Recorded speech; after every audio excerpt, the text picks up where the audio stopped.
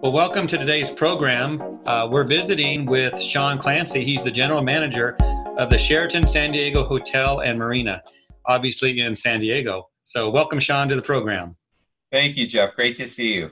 Hey, I don't know how close this is to you, but I was born in Escondido, California.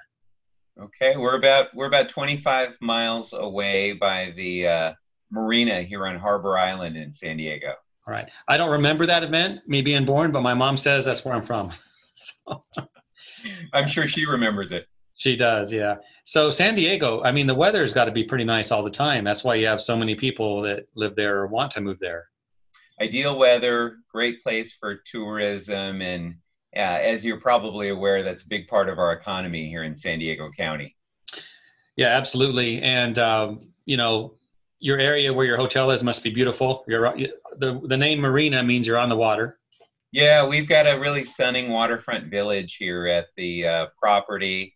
It's a it's a massive complex. We're 1,053 rooms, 95,000 square feet of meeting space uh, here at the property.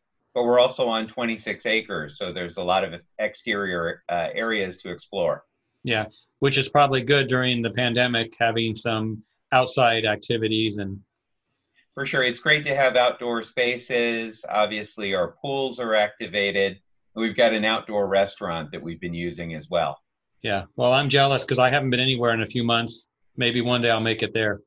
Please do. Please come visit. Yeah. Uh, that, that, sounds cool. But good to talk to you today. And uh, tell us about during the pandemic. Did you guys have to shut down for a period of time or slow down or?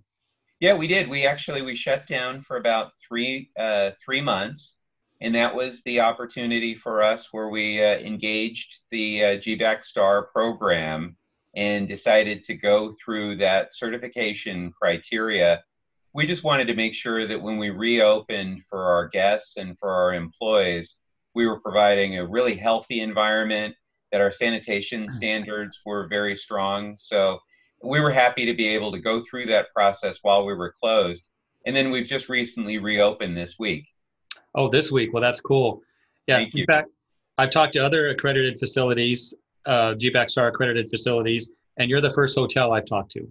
Okay. Well, we are honored to be the uh, first hotel or resort on the GBAC Star program. Yeah, that's that's really cool that you're open again. So let's talk about about this and what it means for you. Uh, I think you alluded to it in, already, but but what was it that really brought you to the GBAC Star accreditation program? Was there something that that you you saw and you just knew you had to do? We we really wanted to be able to demonstrate to all of our stakeholders, our our guests, our employees, the partners of the Sheraton San Diego, that we really had best in class sanitation and cleanliness programs in place. We liked the rigor of the program that your team had outlined, and uh, we were happy to go through the process the risk assessment. I think there were a lot of learnings through that process for us. So yeah, we're we're very grateful for the work that we've done with GBAC Star so far. Yeah, although I have not gone through the 20 elements like you have done, I've, I've looked at them and talked to, to folks about them. So definitely a rigorous process, you know, but if it's worth doing, you got to put some work into it. And I think that's what you saw. Absolutely. Absolutely. So, so for your staff and for your guests? What does this mean for them? Well, you know, one one of the things that we've been uh, saying a lot here at the at the property is is cleanliness is the new luxury in um, hospitality, and so we've got to make sure that it's clean and that it's done right the first time. So I think the thing that it really brings back for the guest and for our employees is having a high level of trust they can trust that we've gone through a process to make sure that we've eliminated those uh, factors that might not be as clean or as well sanitized as they should be and that we've really studied the program the property and taken a step back to learn as much as we can to make sure that we've created a healthy environment for everyone.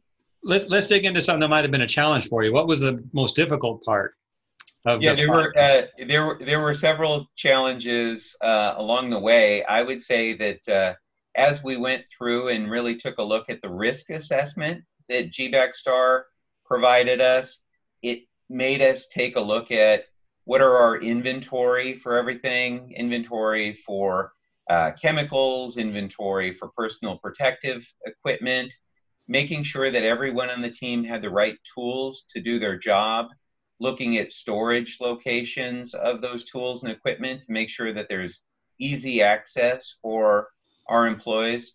So the risk assessment was really a key to us to take a step back, learn a little bit more about ourselves, and now we've been able to apply that to the work here at the property. Yeah, I'm sure your workers there appreciate having a system to follow and some guidance with that.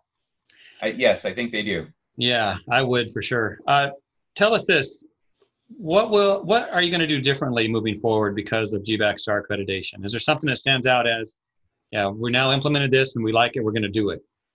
Yeah, uh, one thing that really stands out as a point of differentiation is how we've treated our safety committee at the hotel in the past.